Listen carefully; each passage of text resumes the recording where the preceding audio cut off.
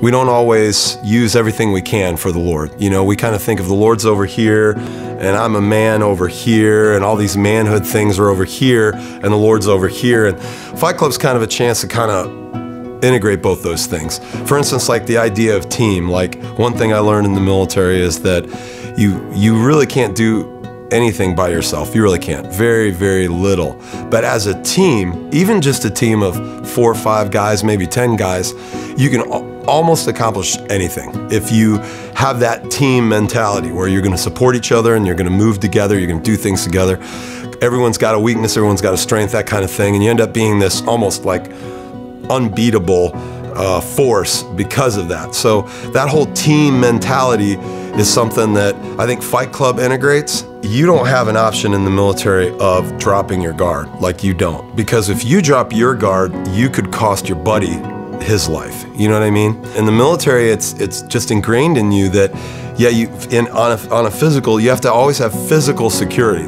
Anywhere you're going, you have to you have to establish, you know, a cordon. You have to establish a security perimeter, and and then you know when you're relaxing, you know when you're going to sleep, you know when you're eating or whatever you're doing, that there are other brothers who are holding that line for you. You know, if, if you fall asleep, essentially, if you just sort of give up, then that that's where the enemy can come in and, and do whatever he wants to do. He can, you know, he can he can kill you, he can kill your buddy, he can do all these things, wreak havoc, whatever.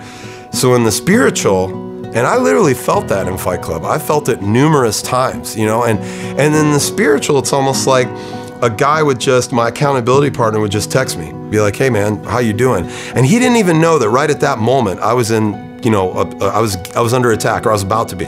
When you came into Fight Club and when you were in the app and you could put a prayer request up, and when you saw other prayer requests come down, you could pray for them immediately, right? When you saw you, Lord, I just pray for this guy's son or his wife or whatever, his job, and and so, yeah, we were able to kind of develop a perimeter, you know. And when you were in Fight Club, you you knew that guys were praying for you. You knew that if you put something out there, they were going to pray for you. And I have a lot of things that I've done in the military, and I have a lot of uh, different experiences I've had, and I kind of thought those were going to be isolated to that. Like that's my military experience, you know.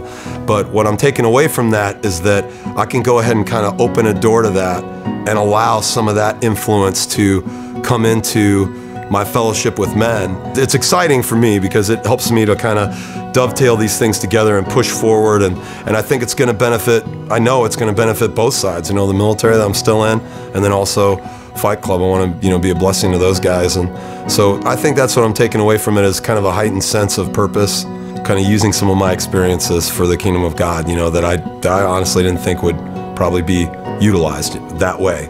My name's Imrich Kirik, and I'm a Fight Club man.